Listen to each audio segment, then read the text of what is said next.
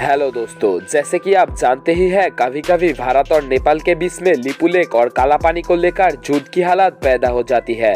और इस समस्या को लेकर अगर कभी भारत और नेपाल के बीच में लड़ाई शुरू हुआ, तब नेपाली सेना के सामने भारतीय सेना ठीक से टिक नहीं पाएगा। और क्यों टिक नहीं पाएगा, इसी के बारे में बाद में हम एक वीडियो में आपको बताऊँगा। लेकिन भारतीय वायुसेना को रोकने की क्षमता नेपाली आर्मी के पास नहीं है। और इस एयरफोर्स के मदद से भारत नेपाल के ऊपर भयानक एरियल स्ट्राइक करने में सक्षम है। और ये खतरे का मुकाबला करने के लिए नेपाल को एक मज़बूत वायुसेना बनाने की सख्त ज़रूरत है। क्योंकि अगर नेपाल के पास एक मज़बूत वायुसेना होगी तो भारत कभी भी नेपाल के ऊपर हमला करने का हिम्मत नहीं करेगा। इसीलिए नेपाल को अपनी सुरक्षा के लिए जल्द से जल्द एक छोटा लेकिन असरदार वायुसेना की स्थापना करना चाहिए। और इस वायुसेना की गठन के लिए नेपाल के सबसे अच्छा विकल्प चीन द्वारा बनाया गया जेटेंसी लड़ाकू तियारा हो सकता है। क्योंकि चीन द्वारा निर्मित ये जेटेंसी लड़ाकू तियारा की कीमत अन्य पश्चिमी लड़ाकू तियारा की तुलना में अपेक्षाकृत कम है। और ये लड़ाकू तियारा दुनिया की किसी भी चौथी पीढ़ी की लड़ाकू तियारा के साथ बड़ा बराबरी में मुकाबला करने की क्षमता रखती है।